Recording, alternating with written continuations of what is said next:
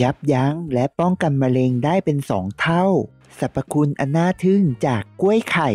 นายโอริแชร์ออน present สวัสดีครับ ใครจะเชื่อผลไม้ชนิดนี้มีคุณค่าทางอาหารเกินคาด กล้วยไข่มีวิตามินและสารอาหารที่ช่วยยับยั้งการเกิดโรคมะเร็งได้ โดยเฉพาะวิตามิน A จากกล้วยไข่ ถ้าหากคุณรับประทานทุกวัน วันละ 200 มิลลิกรัมหรือ 2 ขีด คุณก็จะสามารถป้องกันโรคเซลล์มะเร็งได้แล้วและยับยั้งได้อีกด้วย ข้อมูลเหล่านี้ได้รับการยืนยันจากห้องแลบแล้วว่าได้ผลจริงครับ และเนียมนำมาทดลองกับมนุษย์ว่าได้ผลจริงหรือไม่ นอกเหนือจากนั้นยังมีสรรพคุณทางด้านการรักษาโรคอาการตาบอดแสงตอนกลางคืนครับ และเยื่อตาแห้ง ซึ่งได้ผลดีในระดับที่น่าพอใจ และอย่าลืมหารับประทานกันนะครับ กับกล้วยไข่